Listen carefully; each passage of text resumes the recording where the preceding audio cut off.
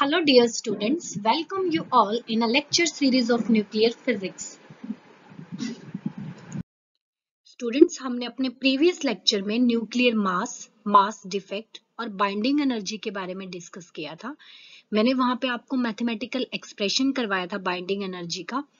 उसी टॉपिक को आगे प्रोसीड करें हम तो हम बाइंडिंग एनर्जी कर्व स्टडी करेंगे।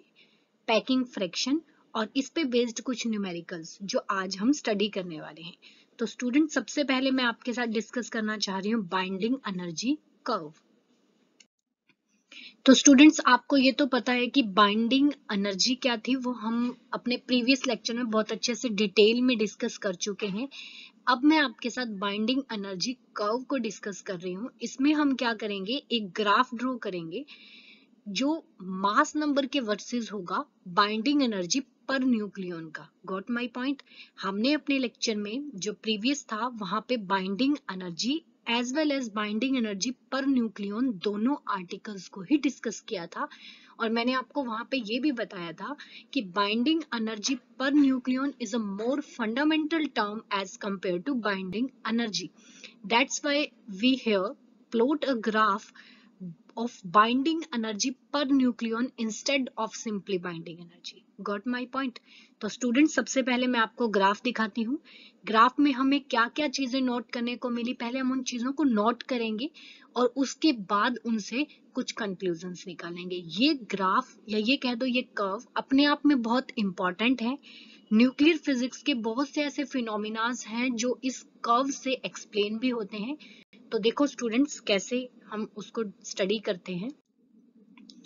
ये देखो स्टूडेंट्स ये मैंने लेफ़्ट हैंड साइड में ग्राफ प्लॉट किया है। वाई एक्सिस पे हमारे पास है बाइंडिंग एनर्जी पर न्यूक्लियन जिसके यूनिट्स मैंने एम ई वी ही लिए हैं। और एक्स एक्सिस में मैंने मास नंबर लिया है। आपको पता है कि एटम्स का जो भी मास नंबर होगा, वो मैंने एक्स एक्सिस पे प्लॉट किया है। गॉट माई पॉइंट और ये हमारे पास कर्व का नेचर आ रहा है इस तरीके से। अगर आप इस कर्व को देखो तो इसमें मैंने एटम्स भी मेंशन किए हुए हैं, जैसे हाइड्रोजन के आइसोटॉप्स हैं, lithium, nitrogen, helium, carbon, oxygen, uranium, इस तरीके से। तो ये आपके पास binding energy per nucleon versus mass number का एक पॉपुलर ग्राफ है, जिसको आपने first time I think plus two में देखा भी होगा और इसके बारे में थोड़ा सा स्टडी भी किया होगा। अब स्टूडेंट्स यहाँ पे बात नोट करने वाली है तो ये है कि अगर आप देखो तो जिनका मास नंबर बहुत कम है, उनकी बाइंडिंग एनर्जी भी कम है। ठीक है?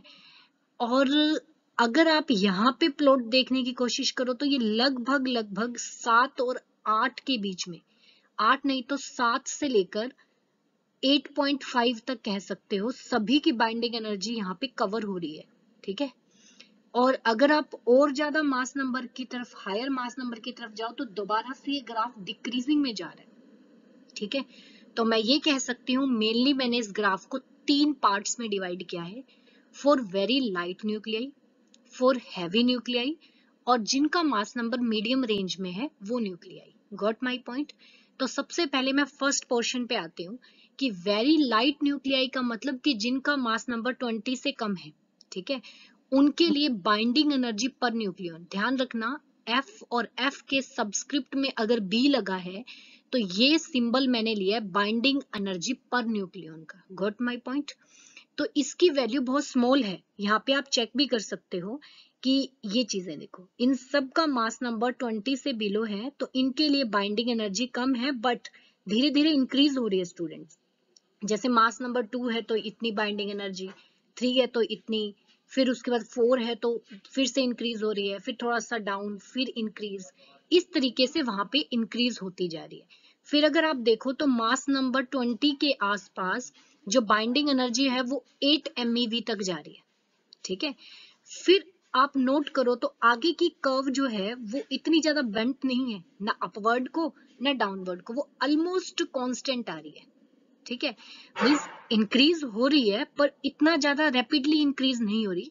अपनी मैक्सिमम वैल्यू को वो अटेन करेगी दैट इज़ 8.7 पॉइंट और 56 आयरन के लिए, जो आयरन का मास नंबर होता है वो 56 होता है, उसके लिए मैक्सिमम बाइंडिंग एनर्जी आ रही है पर न्यूक्लियन और उसके बाद फिर वो धीरे धीरे डिक्रीज हो रही है but at a very slow rate ठीक है? तो मैं ये कह सकती हूँ कि लगभग 20 से लेकर 180 के बीच में आपके पास बाइंडिंग एनर्जी पर न्यूक्लियन की वैल्यू लगभग कांस्टेंट है, ठीक है? और वो वेरी कर भी रही है तो कहाँ से कहाँ तक? 8 से ऊपर ही रह रही है और 8.7 मैक्सिमम जा रही है। तो ज़्यादा फ़र्क उसमें नहीं आ रहा, ठीक है? फिर उसके बाद मैं बात करती हूँ 180 से हायर मास नंबर पर। तो वहाँ पे दोबारा से वो मोनोटोनिकली डिक्रीज हो रही है बाइंडिंग एनर्जी ठीक है? जैसे मैंने यहाँ यूरेनियम का आपको एग्ज़ाम्पल भी शो किया हुआ है। यूरेनियम के लिए आपके पास वैल्यू आ रही है seven point six M eV per nucleon got my point तो स्टूडेंट्स यहाँ से हमारे पास जो मेन पॉइंट्स निकल कर आए, वो ये आए कि लाइट न्यूक्लियाई के लिए और हैवी के लिए बाइंडिंग एनर्जी कम आ रही है। जिनका मास नंबर 20 से 180 के बीच में है, उनके लिए ऑलमोस्ट सेम आ रही है वैल्यू 8 से लेकर 8.7 तक जाएगी वो वैल्यू बीच में थोड़ा अप डाउन चलता रहेगा। तो ये हम, हमने यहाँ से जो पॉइंट्स नोट किए ना स्टूडेंट्स वो है। एक चीज़ और आपके पास नोट करने वाली है कि यहाँ देखो, यहाँ फ्लक्चुएशन ज़्यादा मिल रही है। ठीक है? और आप ये भी नोट करोगे कि एकदम से बाइंडिंग एनर्जी इंक्रीज हुई, फिर डिक्रीज फिर एकदम से इंक्रीज हो रही है, फिर डिक्रीज फिर एकदम से इंक्रीज हुई, फिर डिक्रीज इसको बोलते हैं किंग्स आना. Kinks in a binding energy curve एकदम से जंप फिर डाउन फिर जंप फिर डाउन और आप देखोगे इसका मतलब क्या है कि बाइंडिंग एनर्जी एक बार बढ़ रही है, फिर एकदम से कम हो रही है. जो ये इंक्रीजिंग पॉइंट्स है ना इसके, ये जो पीक पॉइंट है, यहाँ पे वही न्यूक्लियस है जिनका mass number multiple of four है। ठीक है? ये चीज़ भी यहाँ पे देखने वाली है। तो स्टूडेंट्स यहाँ पे कंक्लूजन जो चीज़ें हमें नोट करने को मिली, वो यही चीज़ें मिली कि वेरी लो के लिए कैसा बिहेवियर था वेरी लो के लिए जिनका मास नंबर बहुत कम है, उनकी बाइंडिंग एनर्जी कम धीरे धीरे इंक्रीज हो रही है वो। फिर जिनका मास नंबर 20 से 180 के बीच में है, उनके लिए इंक्रीज होगी वैल्यू बट लगभग कांस्टेंट थी। फिर जिन एटम्स के लिए या जिन न्यूक्लियाई के लिए मास नंबर 180 से ज़्यादा है, उनकी वैल्यू धीरे धीरे उनके लिए फिर से बाइंडिंग एनर्जी डिक्रीज हो रही है। गॉट माई पॉइंट तो स्टूडेंट्स यहाँ से अब हमने कुछ कंक्लूजन भी निकालने हैं। ये तो वो पॉइंट्स थे जो मैंने इस कर्व को देकर नोट किए। अब ऐसा क्यों हो रहा है या ऐसा होने से एटम्स की स्टेबिलिटी पे क्या फ़र्क पड़ेगा? या उसकी एग्जिस्टेंस पे क्या फ़र्क पड़ेगा, या उसका बिहेवियर कैसा होगा, अब हम उसके बारे में देखते हैं कि क्या चीज़ें आएँगी। कर्व स्टूडेंट सेम है, जो मैंने पहले बनाई थी। अगर आप यहाँ नोट करो तो सभी के लिए बाइंडिंग एनर्जी की वैल्यू मैंने पॉजिटिव बनाई है, ठीक है? इट मीन्स जब भी कॉन्स्टिट्यूएंट न्यूक्लियन से कोई न्यूक्लियस बनेगा तो उसको एनर्जी की ज़रूरत होती है। ठीक है? या ये कह दो कि जब आपको न्यूक्लियस को डीकम्पोज करना है, तब भी आपको एनर्जी अप्लाई करनी पड़ेगी। गॉट माई पॉइंट फिर हमने ये देखा कि वेरी लाइट न्यूक्लियाई जो थे, उनमें रैपिड फ्लक्चुएशन हो रही है। जैसे मैंने आपको अभी प्रीवियस स्लाइड में भी ये चीज़ शो की। और पर्टिकुलर पीक्स हमें ऑब्ज़र्व हो रही हैं, वो भी किसके लिए? इवन इवन न्यूक्लियाई के लिए। ठीक है? वो स्टूडेंट्स इसलिए क्योंकि इनकी एनर्जी एकदम से बाइंडिंग एनर्जी क्यों इंक्रीज हो रही है? uh, क्योंकि इनके लिए number of proton as well as number of neutron दोनों ही इवन थे तो ये स्पिन की स्टेबिलिटी को ज़्यादा एग्जिस्ट कर रहा था। मीन्स इवन नंबर है तो अगर मान लो आपके पास दो प्रोटोन है दो ही न्यूट्रॉन है तो वो उनकी स्पिन की पेयरिंग हो जाती है, ठीक है? तो इस वजह से वो ज़्यादा स्टेबिलिटी गेन करते हैं। स्टेबिलिटी ज़्यादा गेन करने का मतलब they have a large binding energy as compare to their neighbouring atoms क्योंकि अगर आप इनके आसपास वालों के पास देखोगे तो वहाँ पे इतनी अच्छी स्पिन पेयरिंग नहीं होगी, क्योंकि उनके पास number of proton as well as number of neutron दोनों के दोनों ही इवन नहीं होंगे। तो आपके पास ये चीज़ तो आपको क्लियर होगी। अब मैं बात करती हूँ यहाँ पे। तो स्टूडेंट्स अगर आप इस कर्व को ध्यान से देखो 20 से 180 के बीच में तो यहाँ पे ऑलमोस्ट वैल्यू सेम है। मिनिमम 7.6 जा रही है और मैक्सिमम 8.8 या 8.7 इस तरीके से जा रही है। तो यहाँ से हमें साफ़ पता लग रहा है कि binding energy is proportional to A not A square ठीक है? बाइंडिंग एनर्जी ए के प्रपोर्शनल है, लेकिन ए स्क्वायर के नहीं है। आपकी कर्व का नेचर साफ़ बता रहा है। इसका मतलब ये हुआ कि जब न्यूक्लियन दूसरे न्यूक्लियन के साथ इंटरेक्ट करते हैं तो वो लिमिटेड नंबर ऑफ़ नेबर्स के साथ ही कर सकते हैं ये नहीं कि वो सभी के साथ करने लग जाएँगे, ठीक है? और ये अपने आप में बहुत इंपॉर्टेंट पॉइंट निकल के आया, क्योंकि जब कोई particle limited number of particle के साथ इंटरेक्ट कर रहा है किसी फोर्स से तो उस फोर्स का ये नेचर समझ में आता है कि that force is saturation in nature ठीक है? तो यहाँ से हम ये कंक्लूजन निकाल सकते हैं कि न्यूक्लियर फोर्सेस जो है, उनके पास भी सेचुरेशन की प्रॉपर्टी है। फिर उसके बाद ये चीज़ मैंने आपको बताई है कि बाइंडिंग एनर्जी कमी आ रही है लाइट के लिए भी और हैवी के लिए भी। इसका मतलब ये हुआ कि ये दोनों ही न्यूक्लियाई अनस्टेबल है। ठीक है? जो 20 से नीचे हैं, वो भी अनस्टेबल जो 180 से ऊपर हैं, वो भी अनस्टेबल लेकिन जो 20 से 180 के बीच में हैं they are stable nuclei got my point तो इसी वजह से स्टूडेंट्स जो 180 से ऊपर वाले जो न्यूक्लियस है ना, उनको हम रेडिएक्टिव भी कहते हैं। आपने मोस्ट फ़ेमस यूरेनियम के बारे में पढ़ा हुआ है, ठीक है? ऐसा क्यों? क्योंकि वो अनस्टेबल है और वो स्टेबल होने के लिए कुछ ना कुछ रेडिएशंस को अपने में से एमिट करते रहते हैं ताकि उनका मास नंबर डिक्रीज हो जाए और वो 180 से बिलो आ जाए ताकि वो स्टेबल हो जाए। ठीक है? अब वो अपने में से किसी चीज़ को एमिट कर रहे हैं। उनका मास नंबर डिक्रीज हो रहा है। ऐसे ही लाइट न्यूक्लियाई क्या करते हैं? वो आपस में फ्यूज होके एक बड़ा न्यूक्लियस बनाने की कोशिश करते हैं ताकि उनका मास नंबर 20 से ग्रेटर हो जाए। ठीक है? तो लाइट न्यूक्लियाई फ्यूज करेंगे ताकि वो 20 की रेंज में आए। हैवी न्यूक्लियाई ब्रेक करेंगे ताकि वो 180 से नीचे की रेंज में आए। तो लाइट न्यूक्लियाई फ्यूज करेंगे, इस प्रोसेस को बोलेंगे हम न्यूक्लियर फ्यूजन और हैवी न्यूक्लियाई जो हैं, वो डिवाइड होते जाएँगे ताकि वो 180 से नीचे की रेंज में आ जाए तो इस प्रोसेस को बोला जाता है न्यूक्लियर फ्यूजन ठीक है? तो ये बाइंडिंग एनर्जी कर्व की सबसे बड़ी एप्लीकेशन और इंपॉर्टेंट एप्लीकेशन है कि it explain why nuclear fusion and nuclear fusion process take place in nature ठीक है कि इनको कुछ कंडीशंस चाहिए होती हैं उसके लिए। वो स्टूडेंट्स आपके फोर्थ यूनिट में ये दोनों डेफिनेशंस आएँगे भी और रिएक्टर्स भी आएँगे इस पे बेस्ड तो वहाँ पे हम इसको डिटेल में करेंगे। अभी बस आप इतना समझ लीजिए कि फ्यूजन में न्यूक्लियस का डिवाइड होना है फ्यूजन में दो न्यूक्लियस का मिलकर एक बड़ा न्यूक्लियस बनाना है। गॉट माई पॉइंट तो आपको कंक्लूजन भी स्टूडेंट्स यहाँ से समझ में आ गए होंगे।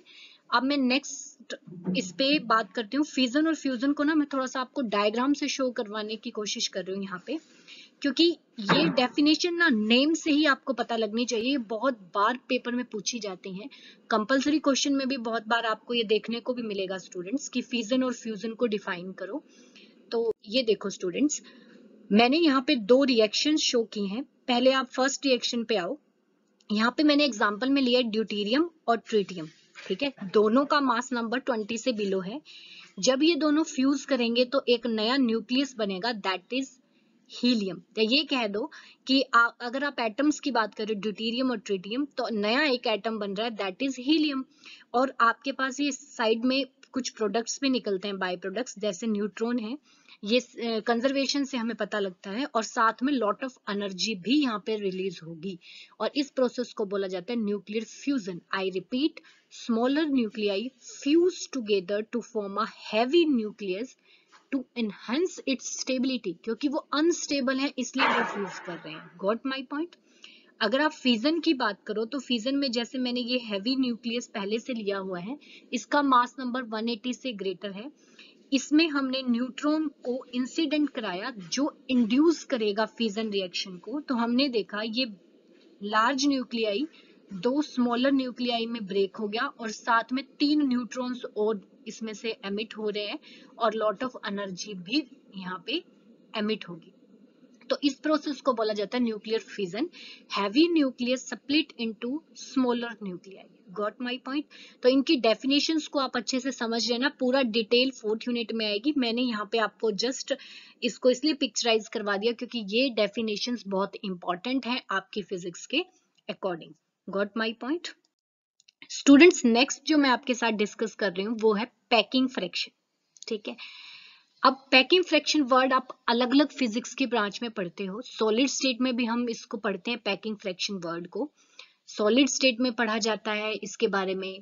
और नॉर्मली भी आप जब केमिस्ट्री पढ़ते हो तब भी इस टर्म की बहुत बात आती है पैकिंग फ्रैक्शन आप अलग अलग शेप्स के लिए भी निकालते हो।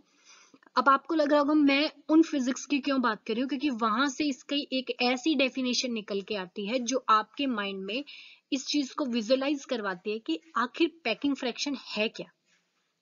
पैकिंग फ्रैक्शन एक्चुअल में आपको क्या बताता है कि किसी भी सिस्टम में, जैसे आपने कोई कंटेनर लिया, सपोज़ मान उस कंटेनर में आपने कुछ मॉलिक्यूल्स क्या कर दिए फिल कर दिए, ठीक है? अब आपने उनको कुछ वॉल्यूम दिया, जिसमें वो इजीली क्या कर सकते हैं एग्जिस्ट कर सकते हैं, ठीक है? तो पैकिंग फ्रैक्शन आपको ये बताता है कि जितना वॉल्यूम आपने उनको प्रोवाइड किया उस वॉल्यूम का कितना वो एफिशिएंटली ले सकते हैं। मतलब यूज़ कर पा रहे हैं। आई रिपीट इट कि पैकिंग फ्रैक्शन आपको क्या बताता है कि जितना वॉल्यूम आपने उनको दिया, उसमें से वो कितना वॉल्यूम एक्वायर कर पाते हैं। That is known as packing fraction suppose मान लो, मैंने आपको बोला कि किसी भी सिस्टम का पैकिंग फ्रैक्शन 85 परसेंट है।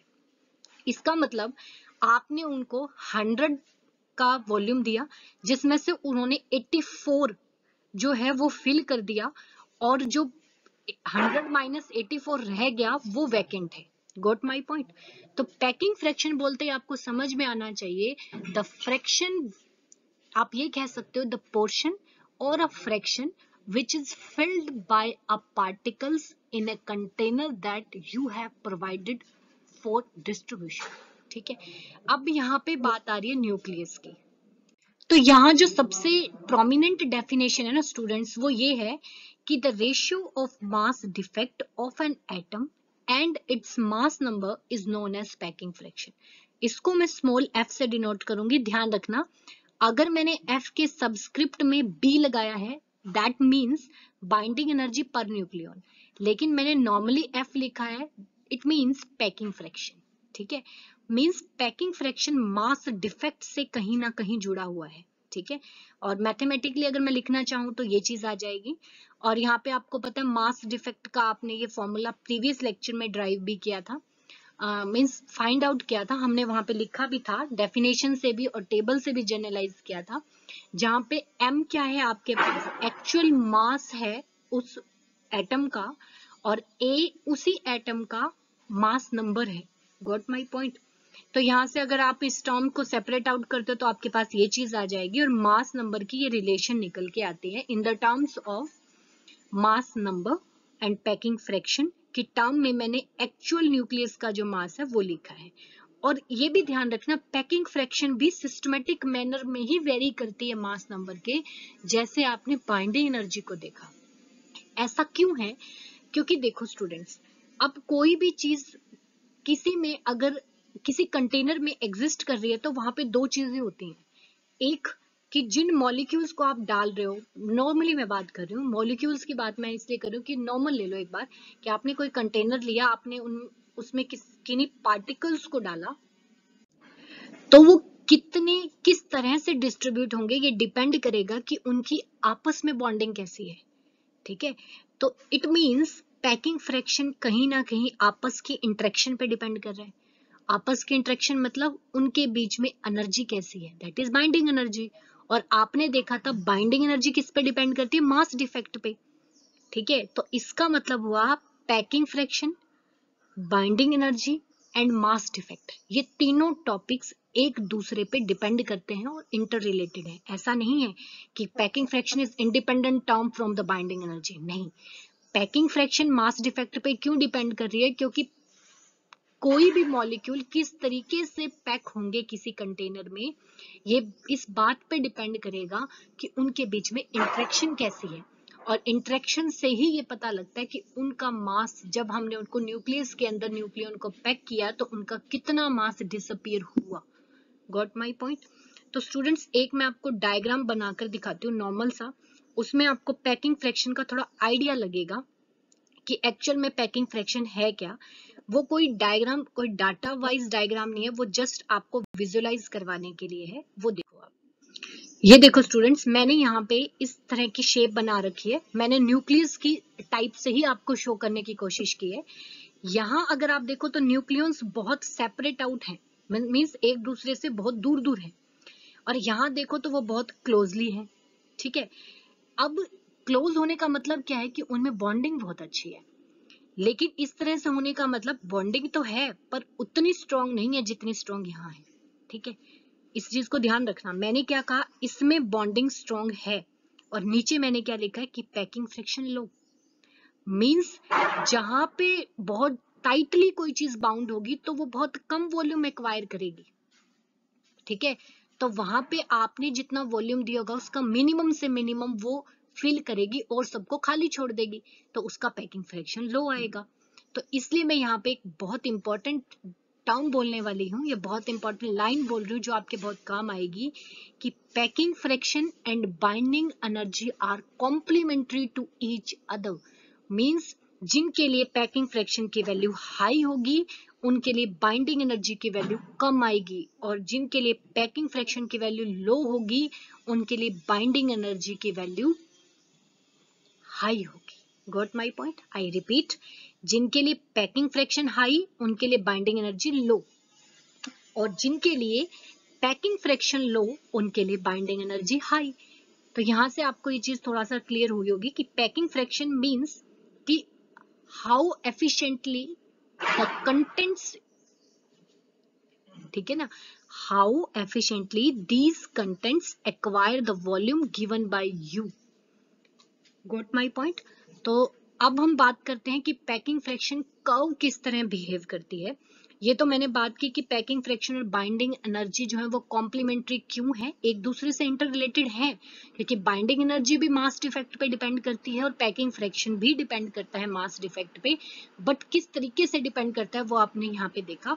अब कर्व देखो स्टूडेंट्स पैकिंग फ्रैक्शन की। ये देखो स्टूडेंट्स सेम मैंने वैसे ही बनाया है। बाइंडिंग एनर्जी कर्व और इसमें क्या डिफरेंस है? दोनों में सेम चीज़ ये है कि एक्स एक्सिस पे मास नंबर ही लेना है आपने। और वाई एक्सिस पे बाइंडिंग एनर्जी कर्व के ड्यूरिंग आपने बाइंडिंग एनर्जी पर न्यूक्लियन लिया है और पैकिंग फ्रैक्शन के अकॉर्डिंग पैकिंग फ्रैक्शन के टाइम पे आप पैकिंग फ्रैक्शन लो गॉट माई पॉइंट यहाँ पे एक चीज़ ध्यान से देखो स्टूडेंट्स कि, मैंने कुछ नेगेटिव पैरामीटर्स भी बनाए हैं। ठीक है? और ये कर्व जो आ रही है, ये ऑलमोस्ट बाइंडिंग एनर्जी से कॉम्प्लीमेंट्री है, क्योंकि आपने उसमें देखा, उसमें इस तरीके की कर्व थी। ऊपर की तरफ़ जा रही थी और इसमें वो नीचे की तरफ़ आ रही है। तो अभी मैंने आपको ये चीज़ समझाई भी डायग्राम से कि पैकिंग फ्रैक्शन और बाइंडिंग एनर्जी कॉम्प्लीमेंट्री टर्म्स हैं, क्योंकि जो चीज़ जितना एफिशिएंटली पैक्ड है मीन्स अगर कोई चीज़ ज़्यादा क्लोज है तो उसका पैकिंग फ्रैक्शन कम आएगा बाइंडिंग एनर्जी ज़्यादा आएगी। और अगर कोई चीज़ दूर दूर है तो उसका पैकिंग फ्रैक्शन ज़्यादा आएगा और बाइंडिंग एनर्जी कम हो जाएगी। गॉट माई पॉइंट तो अब यहाँ से स्टूडेंट्स हमें क्या देखने को मिला कि जब मास नंबर बहुत कम है मीन्स ट्वेंटी से बिलो अगर आप देखो तो बाइंडिंग पैकिंग फ्रैक्शन बहुत ज़्यादा आ रहा है। और कर्व बाइंडिंग एनर्जी में क्या देखा था? कम थी। कोई बात नहीं कंपैरिजन बाद में करेंगे। पहले आप पैकिंग फ्रैक्शन ही समझो। 20 से बिलो अगर आप देखो तो पैकिंग फ्रैक्शन की वैल्यू पॉजिटिव भी है और हाई भी है। जैसे जैसे मास नंबर इंक्रीज हो रहा है पैकिंग फ्रैक्शन की वैल्यू डिक्रीज होती जा रही है, देखो। ठीक है? और जैसे आप 20 से ऊपर पहुँचे तो पैकिंग फ्रैक्शन की वैल्यू नेगेटिव आ रही है स्टूडेंट्स ज़ीरो से बिलो और ये कब तक नेगेटिव रहेगी? जब तक आप 180 पे नहीं पहुँच जाते। मींस 20 से 180 के बीच में पैकिंग फ्रैक्शन की वैल्यू इंक्रीज तो करेगी, पर रहेगी नेगेटिव आई रिपीट 20 से नीचे बहुत ज़्यादा वैल्यू है पॉजिटिव है। लेकिन जैसे जैसे आप मास नंबर बढ़ाते जाओगे तो ये वैल्यू डिक्रीज होती जाएगी। फिर ये अपनी मिनिमम वैल्यू को अटेन करेगी एट 60 ठीक है ना? मास नंबर 60 पे पैकिंग फ्रैक्शन की मिनिमम वैल्यू होगी। उसके बाद ये धीरे धीरे इंक्रीज होगी, पर 180 से नीचे ये नेगेटिव ही रहेगी। 180 के बाद फिर से ये पॉजिटिव होना स्टार्ट हो जाएगी। गॉट माई पॉइंट तो स्टूडेंट्स ये तो था आपके पास कि पैकिंग फ्रैक्शन से हमें क्या क्या चीज़ें देखने को मिली कि पॉजिटिव कब होगी नेगेटिव कब होगी, किस तरीके से गॉट माई पॉइंट अब स्टूडेंट्स ये मैंने कंपैरिजन किया है तो आप दोनों ग्राफ को एक साथ देख सकते हो। पैकिंग फ्रैक्शन में कर्व नीचे की तरफ़ जाकर फिर ऊपर हो रही बाइंडिंग एनर्जी में पहले ऊपर, फिर नीचे। तो मैंने फ़र्स्ट पॉइंट ही मेन ये बनाया, जो ग्राफ को देखते ही आपको पता लगे। That the graph of variation of f and fb with a have a complementary appearance ठीक है? अब मैंने यहाँ पे आपको बोला था कि 60 पे अपनी मिनिमम वैल्यू अटेन करेगा। और बाइंडिंग एनर्जी करवाते टाइम मैंने बोला था कि 60 पे या 56 कह दो आप। एग्जैक्टली exactly अगर आयरन की बात करो तो 56 तो वहाँ पे ये अपनी मैक्सिमम वैल्यू अटेन करेगा। तो यहाँ से भी आपको साफ़ पता लग रहा है कि जब बाइंडिंग एनर्जी मैक्सिमम हो रही है, तब पैकिंग फ्रैक्शन की वैल्यू मिनिमम होगी। तो समझ में आ रहा है कि पैकिंग फ्रैक्शन में अगर कहीं पे पॉजिटिव नेगेटिव स्लोप है तो बाइंडिंग एनर्जी में पॉजिटिव होगा। और अगर बाइंडिंग एनर्जी में नेगेटिव स्लोप है तो पैकिंग फ्रैक्शन में पॉजिटिव स्लोप होगा। गॉट माय पॉइंट आपको समझ में आ गया होगा? पैकिंग फ्रैक्शन आपको बताता है how efficiently nucleon acquire the volume of nucleus जबकि बाइंडिंग एनर्जी आपको बताती है कि वो कितना टाइटली बाइंड ज़्यादा टाइटली बाइंड होंगे तो ज़्यादा से ज़्यादा वॉल्यूम को खाली छोड़ेंगे तो इससे पैकिंग फ्रैक्शन कम हो जाता है, जिस टाइम पे बाइंडिंग एनर्जी ज़्यादा होगी गॉट माय पॉइंट तो ये स्टूडेंट्स हमारा कंपैरिजन था पैकिंग फ्रैक्शन का और बाइंडिंग एनर्जी का अब मैं आपके साथ कुछ न्यूमेरिकल्स डिस्कस करती हूँ। तो स्टूडेंट्स अब हम न्यूमेरिकल्स करते हैं इस कंसेप्ट के, इस कंसेप्ट पर बेस्ड तो उससे पहले मैं थोड़ा सा आपको फॉर्मूलाज के बारे में बता देती हूँ। आपको ध्यान हो तो आपने ये फॉर्मूला तो स्टडी किया ही है। E is equal to delta M C square और ये रिलेशन हमने प्रॉपर्टीज़ के टाइम पे ड्राइव भी की थी। One A M U is equal to nine three one point four M E V और उस टाइम स्टूडेंट्स मैंने आपको कहा भी था कि ये जो इक्वेशन है, ये आपकी यूज़ होगी। तो डेरिवेशन को आप वहाँ से रिमाइंड कर लेना कि किस तरह से वन ए एम यू जो है वो nine three point nine three one point four M energy के इक्विलेंट होता है। और फिर हमने ये रिलेशन भी निकाला था कि E is equals to delta M nine three one point four M E V अब ये रिलेशन जो है, ये कहाँ से आया वो देखो। अब आपको पता है कि वन ए एम यू जो है वो इतनी एनर्जी के इक्वल है। तो आपको जितने एएमयू की एनर्जी इक्विलेंट निकालना है उसको इससे मल्टीप्लाई कर दो तो आपको उसका एनर्जी इक्विलेंट भी मिल जाएगा। Got my point I repeat it ये फॉर्मूला तो आपके पास नॉर्मल है कि आप जनरली पुट करो डेल्टा एम की वैल्यू सी की वैल्यू और आपके पास ई e आ जाए। ये थोड़ा सा लेंथी पड़ जाता है। जब आपको ये चीज़ पता है कि वन ए एम यू इतने अमाउंट की एनर्जी के इक्वल है तो जब भी मास डिफेक्ट होगा वो एएमयू में, में होगा। तो मान लो आपको 10 एएमयू पता है। तो उसकी एनर्जी कितनी होगी? इसको 10 से मल्टीप्लाई कर दो। तो इसलिए हम इस फॉर्मूला को यूज़ करते हैं कि जितने मास का एनर्जी इक्विवेलेंट निकालना है, उसको 931.4 से मल्टीप्लाई करोगे तो एनर्जी आ जाएगी। अब स्टूडेंट्स मैं एक क्वेश्चन आपको करके दिखाती हूँ दोनों तरीकों से। इस फॉर्मूला से भी हम आंसर निकालते हैं और इससे भी निकालते हैं। गॉट माई पॉइंट आप क्वेश्चन को ध्यान से पढ़िए। Calculate the binding energy for an alpha particle whose mass defect is calculated as 0.0292 AMU. Means यहाँ पे पहली बात जो आपके लिए न्यूमेरिकल में बेनिफिट है, वो ये है कि मास डिफेक्ट ऑलरेडी गिवन है हो सकता है कई न्यूमेरिकल्स में आपको वो खुद फाइंड आउट करना पड़े वो मैं आपको नेक्स्ट सॉल्यूशन में बताऊँगी, क्योंकि यहाँ पे मेरा फोकस आपको ये बताना है कि which one formula is efficient for you either this और दिस ठीक है? यहाँ पे मैं आपको यही बताना चाहती हूँ कि आप इसको प्रेफर करना as compare to this formula क्योंकि इससे आपके क्वेश्चन की लेंथ शॉर्ट हो जाती है। वो देखो कैसे। पहले हम इसी फॉर्मूला पे जाते हैं। E is equal to delta M C square आपको पता है। डेल्टा एम की वैल्यू आपको प्रोवाइडेड है 0.0292 but it is in AMU अगर आप इसको केजी में चेंज करना चाहते हो तो हमने ये रिलेशन लिख लिया, क्योंकि आपको पता है one A M U is equal to one point six six into ten की पावर माइनस ट्वेंटी सेवन और ये भी कैसे है कि हमने प्रॉपर्टीज़ के टाइम पे ड्राइव किया है। तो यहाँ से हमारे पास ये मास आ गया। इसको जब आप सॉल्व करोगे तो इस तरीके से आ जाएगी वैल्यू और इस वैल्यू को अब मैंने पिक करके यहाँ पुट कर दिया। और c की वैल्यू तो आपको पता ही है थ्री इंटू टेन की पावर एट जब आप इसको सॉल्व करोगे स्टूडेंट्स तो आपके पास इस तरीके से एनर्जी आ जाएगी। पर ये पर न्यूक्लियस है, ठीक है? पर मोल ज़्यादा बेटर रहता है। तो आपको पता है कि एक मोल में इतने सिस्टम होंगे हमारे पास। तो अगर आप इससे मल्टीप्लाई कर दोगे तो आपके पास ये एनर्जी सॉल्व करने के बाद ये चीज़ आ जाएगी। 2.62378 इंटू टेन की power nine K J per mole got my point अब स्टूडेंट्स यहाँ आपने नोट किया होगा तो कैलकुलेशन करते टाइम आप देखो, एक कैलकुलेशन आपको यहाँ पे ग्रेटर मिली, फिर आपने यहाँ पे भी कैलकुलेशन की, फिर यहाँ पे भी की। मीन्स यहाँ पे मल्टीप्लिकेशन करना आपके लिए ज़्यादा पड़ गया। अब देखो एनर्जी तो निकालनी है।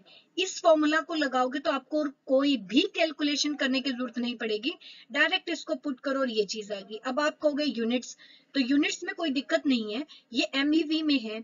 आपको पता है, एक जूल में कितने इलेक्ट्रॉन वोल्ट होते हैं तो आप वहाँ से उसको चेंज भी कर सकते हो। लेकिन चेंज तभी करो जब आपको न्यूमेरिकल में कंडीशन दी हो कि बाइंडिंग एनर्जी आपने जूल में निकालनी है, या आपने एमईवी में निकालनी है। जब आपको बोला ही नहीं कि किसमें निकालनी है तो आप चाहे केजी के यूनिट्स में निकालो, चाहे एमईवी में, वो आपकी मर्ज़ी है। गोट माई पॉइंट तो सबसे पहला काम होना चाहिए कि आपको फॉर्मूला कौन सा यूज़ करना है। तो जहाँ तक मैंने आपके सिलेबस को देखा है और आपके लास्ट ईयर के क्वेश्चन पेपर्स को भी देखा है तो ये फॉर्मूला आपके लिए ज़्यादा एफिशिएंट है। बाकी आप प्रैक्टिस दोनों से करनी है आपने। आना आपको ये भी अप्लाई करना आना चाहिए और ये भी। और ये हम किस तरीके से लगा रहे हैं क्यों लगा रहे हैं, ये भी आपको पता होना चाहिए। गॉट माई पॉइंट तो मेरे अकॉर्डिंग पेपर के टाइम पे आप इस फॉर्मूला को यूज़ करोगे then you will save your time as well as calculation इसमें कम है तो आपके मिस्टेक आने के चांस भी कम होंगे, ठीक है?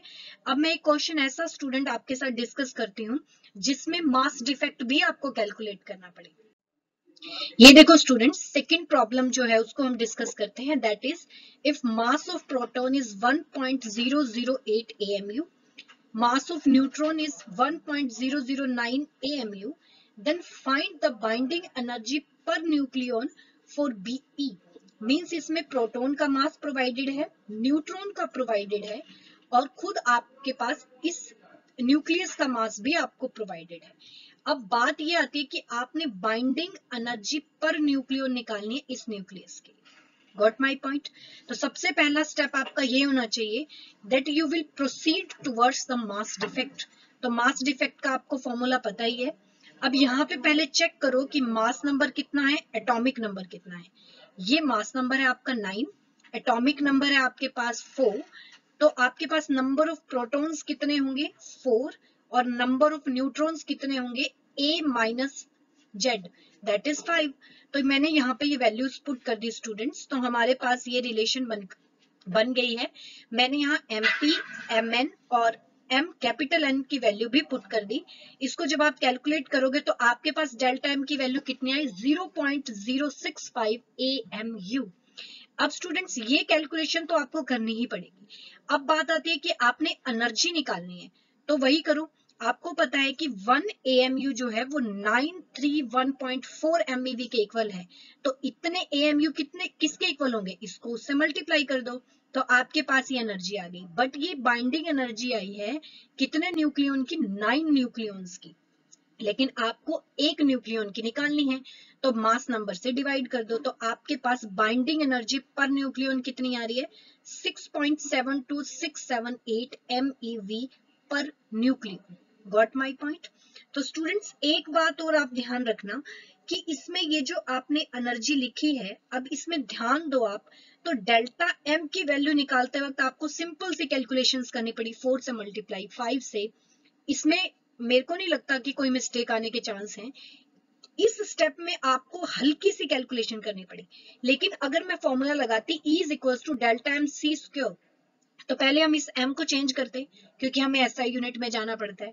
इस m को चेंज करने के बाद फिर आप मोल पे जाते तो इससे बेटर है कि आप ये फॉर्मूला यूज़ करो। बाकी आंसर आप दोनों से निकाल सकते हो। यूनिट्स की बात है तो बाकी सेम चीज़ है। एनर्जी का रिज़ल्ट सेम आएगा। जैसे आपको अच्छा लगे वैसे करो। बट मेरा एक्सपीरियंस ये कहता है कि आपको ये फॉर्मूला ज़्यादा यूज़ करना चाहिए, क्योंकि यहाँ पे गलती होने के चांस कम है। गॉट माई पॉइंट तो स्टूडेंट्स ये मैंने आपको दो न्यूमेरिकल्स करवाए। जो भी आपकी बुक में सोल्व अनसोल्व है, आप उनको सबको करो। आपको जो भी डाउट आता है, आप मुझसे कंसल्ट कर लेना। फिर उसके बाद स्टूडेंट्स अगर मैं कंक्लूजन की बात करूँ तो हमने ये देखा कि न्यूक्लियर स्टेबिलिटी की आज हम बात कर रहे थे।